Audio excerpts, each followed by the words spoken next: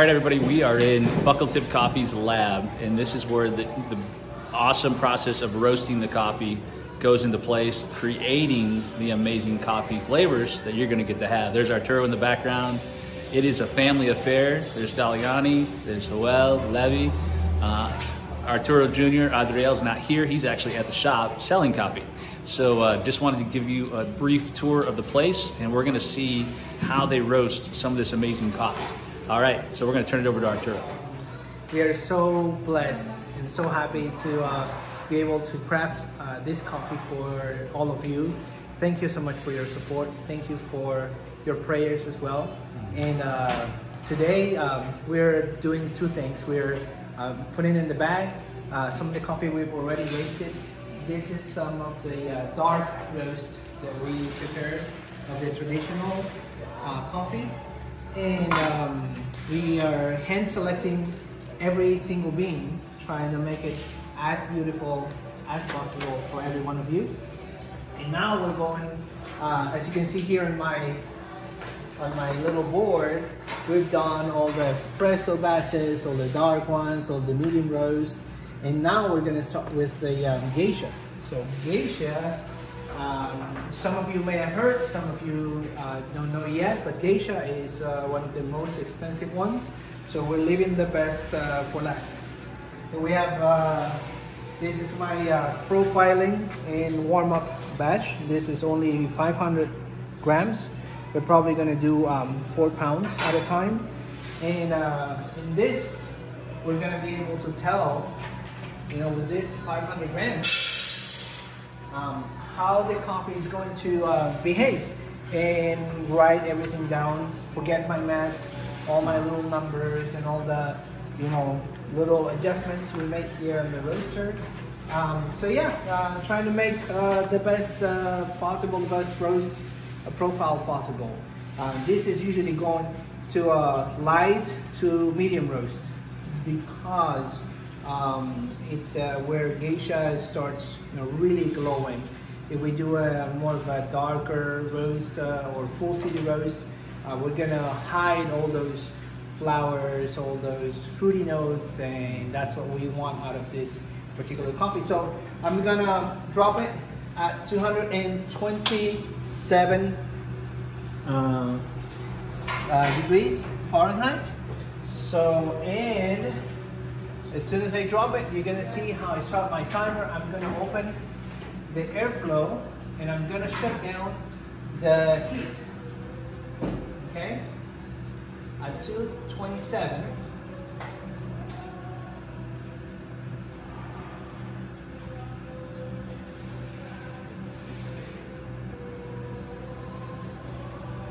Two twenty-seven. Shut down the heat. Open up all the airflow, and I'm going to leave it there for a couple of minutes, just with the heat from the drum. And then we will show you what happens once it's ready. Okay? See you soon. Okay, so I'm asking Eric, uh, Arturo to tell us a little bit about this machine and why you adjust airflow, why you adjust temperature, why you do all these crazy things to it to make it just right. Okay, to begin with, the beans are roasted by uh, different elements. We have convection and conduction. Uh, conduction is the heat uh, as it heats the, the beans with the metal, right? Um, just like the pan. And uh, convection is the hot air that is revolving around inside of the drum. So uh, we need to um, make sure we know our recipe on which heat we want at different stages of the roast. So um, we have uh, a scale here of the airflow, uh, 10%, 20%, 30%, 40%, all the way to 100. Uh, percent. And um, as the bean uh, goes through different stages, like let's say um, the, um, the drying phase, or the Maillard, or what we call the yellowing or browning, or in more simple terms, caramelization. Uh, we play with uh, with the temperature. The control gauge of the temperature is right here. This is the pressure of gas that we that we do, and this is the control knob. And then we also play with the amount of airflow. like for example, when the coffee is cracking, when the coffee is at its peak, uh, we adjust the airflow to 100% because we want all the um, smoke to go out. We don't want it to be kept in because then the coffee may end up tasting smoky and not cooking properly. So um, we just have to pay attention to those things and we, for example, open it to 50% when the coffee uh, changes to yellow, um, it's in full yellowing stage, uh, to 50%. So it's a mix of 50% hot air and the heat we get from the gas. Because I'm smelling, I can smell the coffee now. I can, yeah, s- it- I can yeah, start to smell it's, it. it's, it's starting to change. You can see some some of the shaft uh, Uh-huh. coming out here. That means it's uh, ending the drying the drying phase. And if we take a scoop gear sample, we can definitely see it's looking more pale Mm-hmm. uh, than in the beginning, but still a little bit green, greenish tone. I don't know if the camera will pick that up, but it's, it's still a greenish tone when when we see the change to full yellow, that's when we're gonna do our next change to um, 50% um, airflow and so on. But every coffee is roasted differently, so um, we're trying to see this one how, how is it gonna turn out with the adjustments that we're gonna make based on our previous uh, experience.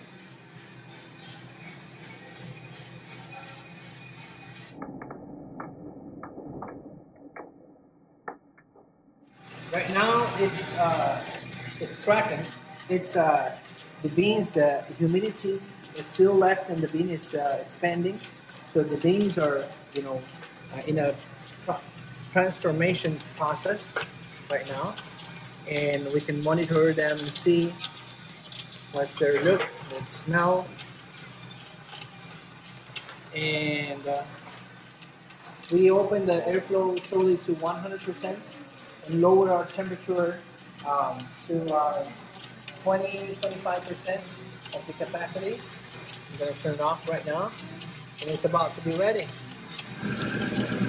Alright, let's see.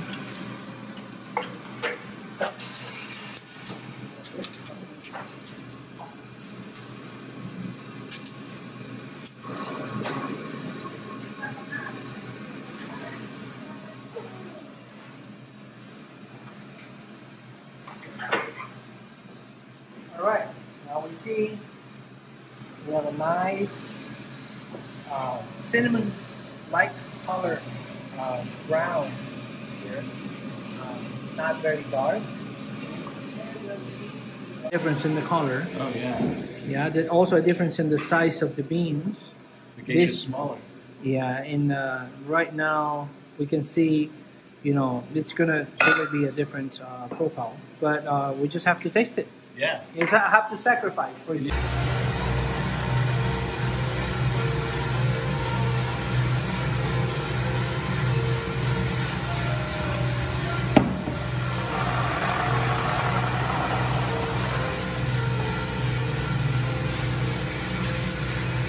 All right, so we got it here. This is the uh, the geisha profile. Arturo just brewed it. This is the one we just um, actually uh, roasted as well, and uh, to give it a taste test. Smell is very sweet and smooth, no bitterness whatsoever. Oh yeah, that is true geisha all the way. Ultra smooth, fruity, um, incredible bouquet. Um, something you have probably never tasted before if you've never had geisha before. But I guarantee um, it'll be a unique coffee that you're gonna like.